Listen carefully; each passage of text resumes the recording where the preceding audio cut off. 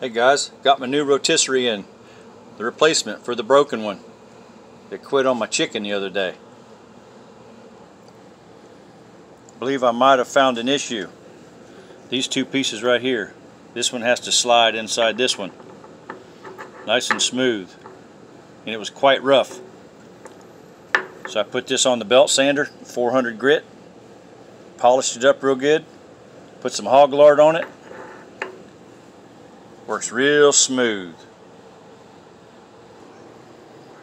All right, we are working. What's it gonna be? Give me some ideas. Can't do beef, that's coming Thanksgiving. Another chicken, some pork? Let me know. Put down in the comments. See y'all later. Have a good one.